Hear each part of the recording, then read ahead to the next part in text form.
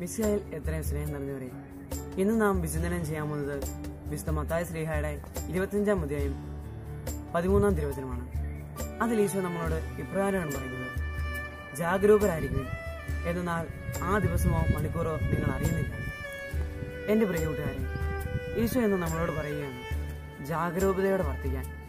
കഴിയുന്ന വിധം ഈശോയെക്കുറിച്ച് എല്ലായ്പ്പോഴും ധ്യാനിച്ച് മറ്റുള്ളവരിൽ ഈശോയുടെ മുഖം ദർശിച്ചുകൊണ്ട് അവരെ ആത്മാർത്ഥമായി സഹാ- സഹായിക്കാൻ നമുക്ക് പരിശ്രമിക്കാം. സങ്കീർത്തനം കൊണ്ട് നമുക്ക് കാണാൻ സാധിക്കും. അങ്ങേക്കെതിരെ പാവം ചെയ്യാതിരിക്കാൻ അങ്ങയുടെ വചനങ്ങൾ ഞാൻ ഹൃദയത്തിൽ സൂക്ഷിച്ചിരിക്കുന്നുവെന്ന് ആകിയാൽ എന്റെ പ്രിയ കൂട്ടുകാരെ നമുക്കും ഈശോയുടെ വചനങ്ങൾ ഹൃദയത്തിൽ സൂക്ഷിക്കാം. അപ്പോൾ പാവത്തിന്റെ അടിമച്ചങ്ങല നമ്മളിൽ നിന്ന് പൊട്ടിച്ച് ദൂരെ അറിയപ്പെടും in our daily day to day life we all have an ad and desire that to speak with the God. So God will hear our prayer and He will send His beloved Son Jesus Christ to us. Jesus Christ will come to us dressed like an enemy, beggar, or even like a butterfly. In most of the times, we will not recognize it is Jesus.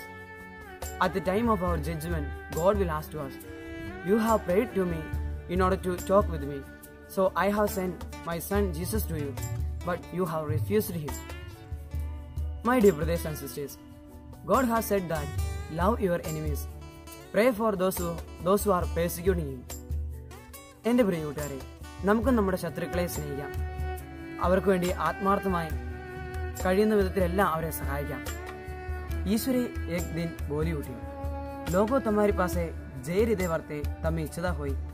ഏ ഹൃദയ തമേപ്പൻ തേമിനെ സാത്തെ വർദ്ധിച്ചു ആദ്യാൽ എന്റെ പ്രിയ കൂട്ടുകാരെ ഈ തിരുവചനത്തിന് ശക്തിയാൽ സർവേശനായ കർത്താവ് നമ്മെ എല്ലാവരും അനുഗ്രഹിക്കട്ടെ എന്ന് ഞാൻ പ്രാർത്ഥിക്കുന്നു. ഒപ്പം നമുക്കെല്ലാവർക്കും ഇന്ന് നന്മ നിറഞ്ഞ ഒരു ദിവസം ഞാൻ ആശംസിക്കുന്നു.